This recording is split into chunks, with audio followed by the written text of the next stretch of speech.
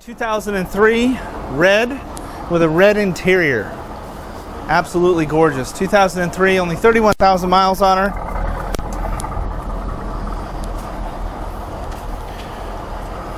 Two hundred and thirty-one ever made that way. This car just came off the truck. Paint on the car is in very good shape. Our emblems are nice and clear.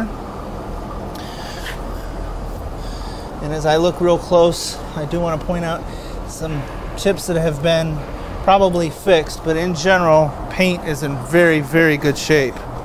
Our uh, lenses, nice and clear, no uh, fogging or anything like that.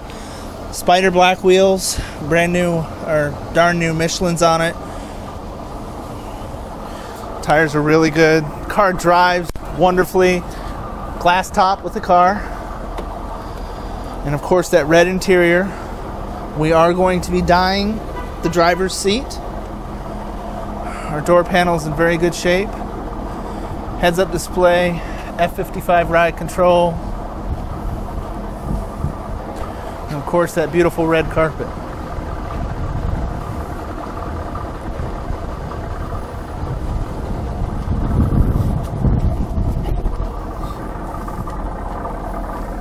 Love the rumble of a C5 as you can hear. Carpeting in the back has been well kept. Our compartments are nice and clean. No issues there. Let's see if it's got a six disc changer in it. Yep. I have not personally put a CD in there to see if it's in working order.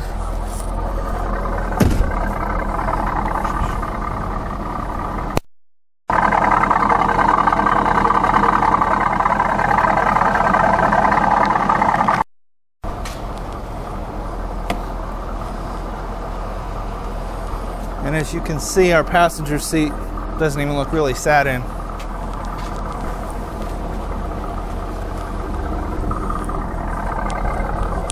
A stock LS1 engine.